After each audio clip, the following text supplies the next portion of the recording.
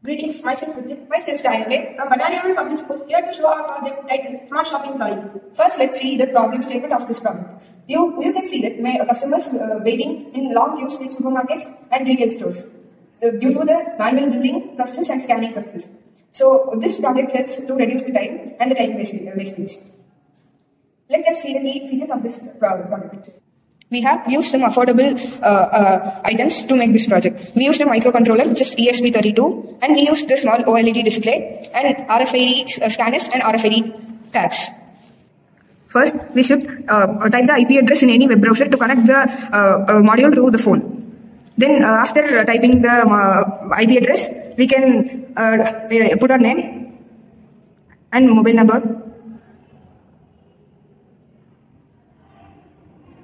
and let us see the bill.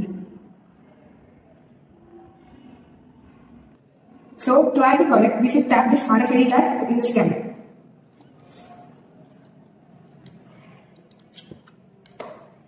To add the product, we need to tap the RFID uh, tag in the scanner. Let us uh, tap this. And the product is added. And the product is added here. If you want this product again, you can tap this again simply. And it is added, uh, the quantity changed to 2. If you don't want this product, you can tap this product in this RFID uh, scanner.